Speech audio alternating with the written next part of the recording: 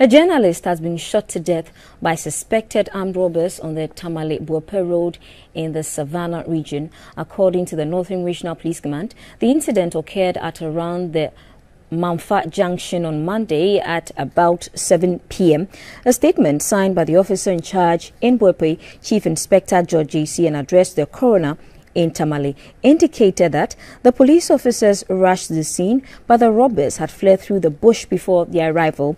The victims, Umari Abdul Hakim and Taleh Ahmed, were met at the scene with gunshot wounds. They were traveling on board a Toyota vehicle with registration number GT 750516.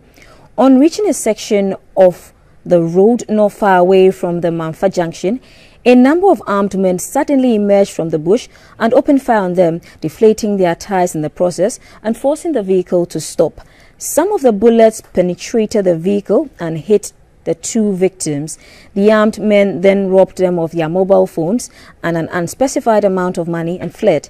The victims were rushed to the Buipe clinic for treatment and were later transferred to the Tamale Teaching Hospital for further treatment, but upon arrival, victim Taleh Ahmed, a journalist who was on assignment in Ghana from the London-based television channel MTA International, with just three days to go till Hazrat Khalifatul Masih addresses 35,000 Ahmadi Muslims at the opening session of Jalsa Salana, Germany, preparations are already fast underway behind me on site at Messe Karlsruhe. Let's go inside and take a look. His body was deposited at the Tamale Teaching Hospital mortuary for preservation and autopsy.